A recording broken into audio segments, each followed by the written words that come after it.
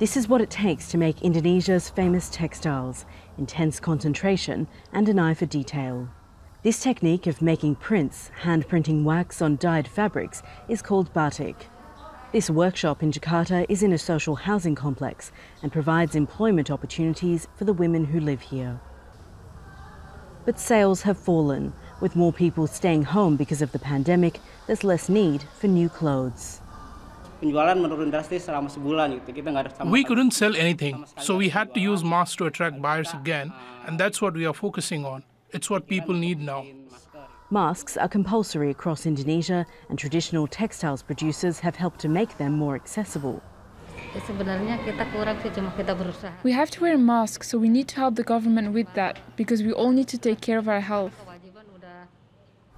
These fabrics are usually used to make shirts or dresses, but COVID 19 has changed that.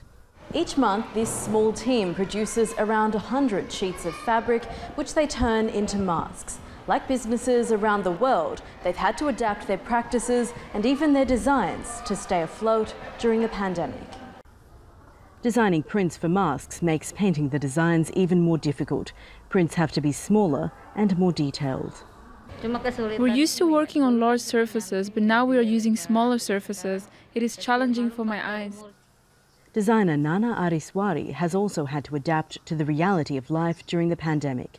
Some weeks, her popular brand, a modern take on ancient Javanese fabric, had no sales at all. We using uh, our insights for what should we do during the pandemic. So uh, from there, I came with the ideas of uh, switching the the needs from celebration fashion into uh, essentials, new essentials. Before the pandemic, dresses were the brand's most popular offering. These days, her handmade masks often sell out online. With cases of COVID 19 rising by thousands each day in Indonesia, the demand for reusable masks is likely to grow.